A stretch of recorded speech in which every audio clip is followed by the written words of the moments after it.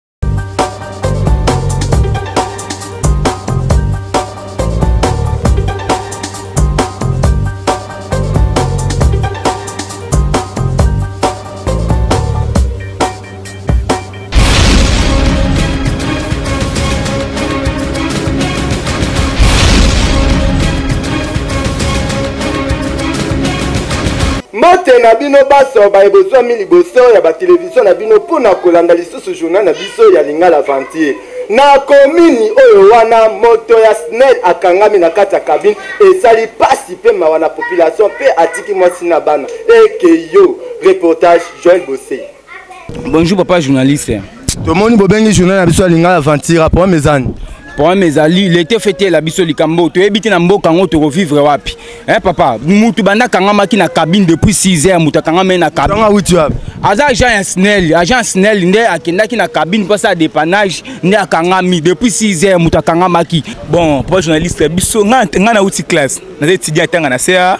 Na kopona kuchi batu bele bole. Tanga wapi? Tanga na CA. Na étudiant.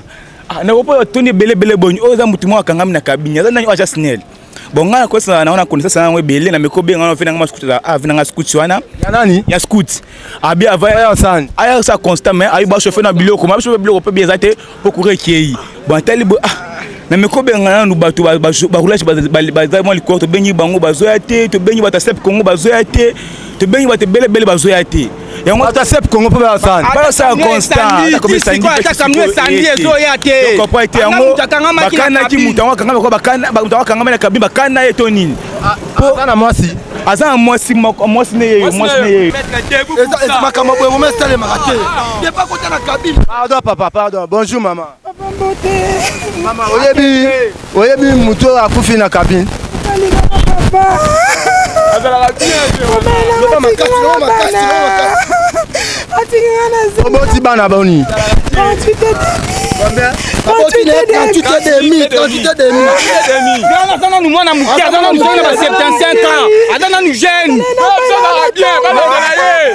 boye te boye te na mboka boye te vie wana ndenge aboye neti ngai bi vie wana aya na baide moko abi ebele forme abanda kokana abataka kora salomo na kakora david abanda kokanaka semaine oyo osila te il faut abata banda 75 wana osanga bati tokoma ba 2003 2004 fo abataka kora salomo na david papa journaliste tokenda kabine kuna depa akotaki na kabine tokoki komona kabine yango tomona ye na kabi bino yango yango oyo mama sikoyo tozobenga bafungola bakende na morke zala na kimia bofungola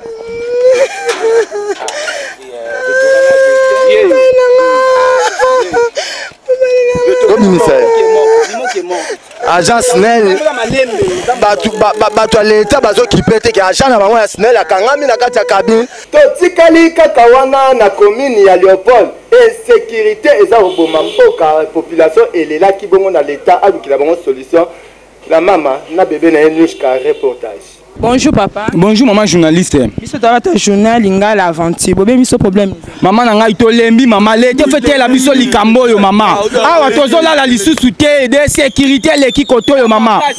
Tosengi na gouvernement batela biso ba argent koto yo. Soki soki ba argent bazala kia bazo sala ba partout na butu mais makambo boye ezo zala te maman. Bango ezani. Maman tozola la tende toza ana commune à Léopold tozola la te. mama moko akota na ngambu awa aza na mwana ete mwana mono monene awa mwana na soki abandi kolela na butu oloba nanu soki abandi kolela na butu mama bokozwa pongi te bokozwa pongi te boye totelemeli likambo oyo boye te akende papa nabi vraiment ke ndeka masa alobi na raison quartier leopold oyo ekomi nini yo obota mwana no mwana no moko yo oza moluba ngai na moswahili oyo wana motetela sikoyo mondeni mwana bino kaka basa nkusu aderange apongi na biso mpe en plus ndenge eza boye papa journaliste ndenge ngai nazwaki ide boso da ministre ya banki esolaki ne déjà ndenge eza boye il faut me vena biso skuch oyo mpe ana il faut akota makambo oyo ndenge eza boye mama tu oyo akobota mwana na ye ah. mwana wana il faut asa bamama bima maternité asoma akokisi 10 ans ou bien 11 ans likambo ya escroquerie na kati ya village na biso ya kinshasa ezali kopesa mpasi na population bakangi tata oyo ascrokaki bato population elobaki na mikro na biso ya lingala aventure reportage Hey ma ken ekeyoo. Bonjour pa commandant. Bonjour maman journaliste. Hein. Biso toza bata journal Lingala Aventure. Bobengi biso problème ne leta. Bayeli ngai mutu oyo a escroquer mutu mbongo. Nde bayeli ngai na kangaki ye mais plenia azali. Plenia azali bazo sambisa bango na plenia, plenia yeyo. aza awa papa mbote hein? bonjour maman journaliste mm. likambo nini ezoleka mama moto oyo aza escro bato ya boye leta fo atikaka bango te leta soki azwi bato ya boye omona après 10 a 15 babimisi ye il faut balimwisaka bango asali nini ve na ngai oyo peti peti na ngai eh. aza mbongo na ngai 150 dollar faka apesa ngai akima il fallaki le 30 apesa ngai lelo le 2 veo namoni ye amoni ye aokosana na ye koluka ngai papia ngai mbongo wana escro makambo asala yango plusieurs fois lelo eza première fois na ye ah eh, asala makambo plusieurs fois lelo eza première fois sa eloko ojo oyo papa mbote mbote mama basimbi oyo na babosikola na comprend ete so petit oyo nini mpe oyo nini na ngai ngai ezali boye aya kolela ngai ke ya mwasi na ye aya problème na esunga ye na sa 50 dola na de ya 50 dola ngai te mpo sa 50 dola mais à partir ya le 30 ou bien le 29 oluka ngai sikoyo nabi boye na voyage kote nazozonga transport mwa mpasi nazongi nakomi lelo te nakoti natuni kutu na palais est ce que bomoni vie na ngai kioluka babi te yako oluka olobi banima yaki na kanda nakopotaki na kanda na nde nini naketi kuna naki oluke kuna epai na ye nakomi ah, asopeli nga mai yoyo osala mbongo na mikolo ebele osala mbongo na mikolo ebele bwe ndeni nabi te mbongo nabimaki naprometaki yo bien sire ndenge eza boye na ye nafuta mpe so mbongo na wana alingi te abritalise ngai na bakasi ngai chemise bongo bayosimba baobeta eza mbongo akola kubeni eza ngai alakaki ye nyongo nde odefisa ngai nyongo nini eza nyongo te nangam nalakaki nalakaki ye mbongo papa mbongo ye okangiseli papa eza akola kube wi mama eza mbongo alakaki ngai mama Ah. Eh, mongo yo biteke la promesse c'est une dette yango ezo betisa papa mukolo pona moko oui alaka nga ça c'est pour na zongo besu ça 50 le quoi promettre ngai ça 50 ne rumeli be fana zonga fait ketere bino ba ebomi pesa ba kombo ya ba ingénieur na loyenge courant ekangi papa moko na commune ya Leopold epesi pasi na mawa la mama na nyoshka reportage eke yo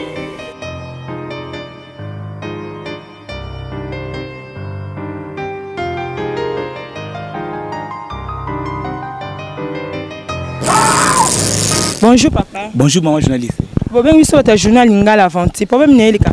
Problème ezo leka awa vie oyo ayinga sala biso courant na caoutchouc. Mais alekisa sikoyo oyo mpena eleki ndelu akoma ata so opesi mbote te na quartier efakata bino ya courant ndenge akoma boye akoma ata so abengi jeune fille na quartier efakata courant baweleli mwasi na masa ya biso baigon mwasi ayese nga na mwasi ya baigon ayokata baigon courant bayo besi daso to mango bazala courant te lelo kaka ndenge azalaki boya comme d'habitude ndenge akosala baentrainement na cabine oyo cabine ekoma terrain na baentrainement asala entraînement na cabine nde sikoyo akangami depa akangamaki wana ti sikoyo azobima te mama omoni makambo lete fetela biso likambo oyo ozomona mpo ekomi nango kaka moto osala na yo peda osombi teste na pince okei na makambo ya courant osala na yo soki nini surtout bato bapesa bango mitu babela bako ingénieur ingénieur abi te fo nasalelaki ingénieur na nga atali boye baleki simba te na kiingénieur azwi te pes na tester abandi koya oderange courant yango mona français baloba 89 jour ekozala ye mai jour moko ekozala ya, ya courant ye mpe ndenge azanga jange soki obengi ingénieur te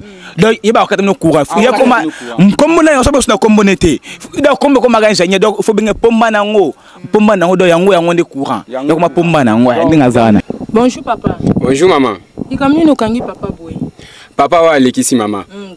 nkombo na yango nani nkombo na courant siko kura ekomi kokanga bato boye nakangi ewe mpo papa alekisi mm. akomi konyokola bato tu na quartier mm. kosengasenga bambongo ngai nayokaka ye aoya awa ah, mpa na ngai atubitubi ngai atii ngai na bapota akei me lelo vraimen nayoki mpe ti aosenga mbongo aye awa akoti yango mpena nakangi ye siko banda kala nakangaka ayaka otu bato bokwanokangaki te bon natikaka ye nazelaka nanu mayele na ye sala mbongo ye azwaka natiaka yango wapi mais lelo nde vraiment nakotika ye te parada vie nanga kuwa bomi nanga moto ve nakoboma te yo nde olekisi ah, ve bambongo nazwa liboso to bandokabola akomikorge mbasi maosola bien reporter na biso na singopu azalaki bongo na musicien chrétienne oyo tobengi na nkombo ya frère songolo tolanda album na ye esilaki banzembo nini ayembi kuna eke yo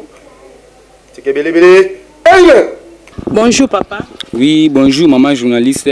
toyambi yo na plateau na biso ya journal lingala aventure toyokaki okota ye studio obimi eloni omemeli biso na plateau na biso oui vraiment nakoyebisa bana na nzambe nyonso tu bazala attentif ya koyoka banzembo oyo nabeteli bango donc album na ngai nabimisi naza na 13 titres na deux chansons na kati okay. so bana nzambe baza kolanda biso okoki kobimisa biso moko toyoka ndenge oui nkombo albumu na biso ezali lifelo somo donc lifelo somo na nga moko nkombo na ngai je me présente d'abord nkombo na ngai pasteur kingani mm -hmm. oyo frère songolo mm -hmm. oyo frère pakala okay. oui bango mpe na libumu oyo batie banzembu mm -hmm. bokoyoka yango parce que ngai aza egoïste te emoni ngai nazalaka maboko pete mm -hmm. parce que bible ezoloba na biso loboko epesaka yango nde eretiraka yango nalingi napesa mpe bana yo mpo na retire mhm. eh, donk ndenge eza wana bokoyoka frère pakala akoyemba mpe nzembo moko oyo eza na kati ya libumu oyo mhm. après frère songolo mpe akoyembela bino après nga moko nasukisa frère pakala tokoyoka nzembo wana oyo pas de problème mama journaliste ok ok jésus o oh, jésus o oh.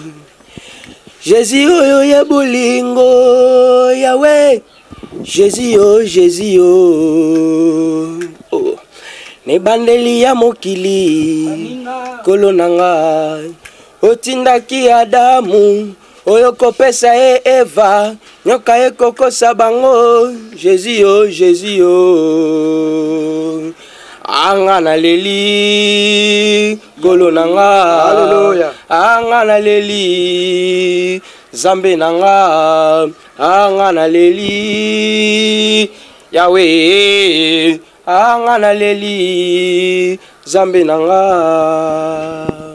Papa toyoki nzembo lifelo somme namoni ke eza nzembo malonga vraiment bandeko baza kolanda biso lokola joseline mongwabula na lingwala azolanda biso mpe nayebi ke ndenge akoyoka boye akobenga bino mpe akosomba bakasete na bino sikoyo mosusu tokolanda bon nzembo mosusu nakoyebisa vraiment nakoyebisa bana na nzambe nzembo oyo vraiment ntango nayombaka yango ngai moko esalaka ngai mpasi nakanisaka bolamu ya nkolo paster asiliki eglize ekatani kilte esili azongi na ndako na kanda Oh, abengani badiakre mpe ya pasoli ba bible bandimi babo na bango koya akomi na ye kizengi oyo azangi eglizi bana bakomi kosekaseka ye azangi eglizi tala ndenge akomi kizengi bandimi bozonga kizunguzungu ya paster mbutu mbutu ekwelelaki bango kati ya bandako na bango mpe kati ya baveni Tolanda reportage na Singop ekeyo. Bonjour papa. Bonjour maman journaliste. Papa otanga? Bon natanga nasilisa mais naza na 6e primaire nazo continuer d'étude na ngai. Mm -hmm. okay. Papa so na mboka na biso balingi batia ministre ya transport bakotia nani? Mpo na biso na mboka na biso batia ministre ya transport. Mm. Bon, ministre ya transport bon. Bon, mpo na ngai bakotya bato ya moto baoyo oyo bakumaka moto mpo bango bayebaka mingi mipe baarrier na ndenge ya kokende babiloko bamemela bamama eh, bakotya ba moto ya moto eh, moto ya moto akumaka moto so balingi batya ministre ya transport bakotya nani mpo na ngai ministre ya transport baotya receveur mais receveur ya ford eh, baoyo ya ford wana mpo bango bayi mpe na baarrier ebele Baby na mboka pena momba pena po faut otani receveur. Soki nalobi na banda ko remercier na kobanda liboso na esika oyo baza kopesa nga espace mpo namona na liboso na bino tokobanda bongo na moscou kabongo directeur ya programme ya jeune garçon lokola biso tobosani te de conte pitsen mpe tobosani te mama lili ebongo soki toke na bamaître maître de roki JR lokolo loboko n'a bosani te registre munene n'a couleur ndeko David ebongo tozonga n'a ba oyo batiaka mwa loboko mukie po nga pe nazua mwa courage ya kotelema lisusu liboso n'a bino tobosani te la mama maman Anouchka, patience babaka, mais celisse boseyi pe Bato oyo bazalaki liboso na bino, oyo ba jouaki lokola Seda Lokwa, BG Kuengani Booto, tobosani te, nga moko liboso na bino ATC Booto, nabosani te, na Singopu. Eloko ya monene na koyebisa bino, l'Etat apesaki biso ba moustiquaires mpe apesi biso ba mangwele mpo na kobatela sante na biso, kasi na sima ayaki koyebisa biso tolakisa bino mayi nini oyo bokoki komelaka mpo sante na bino ezalaka toujours a bonne terme. Nakoyebisa bino yango mokolo ekoya.